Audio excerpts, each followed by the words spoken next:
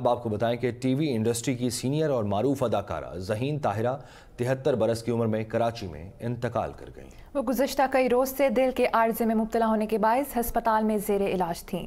ذہین طاہرہ نے سات سو سے زائد ڈرامہ سیریلز میں ناقابل فراموش کردار نبھا کر اپنی صلاحیتوں کا لوہا منوایا۔ رپورٹ میں دیکھیے۔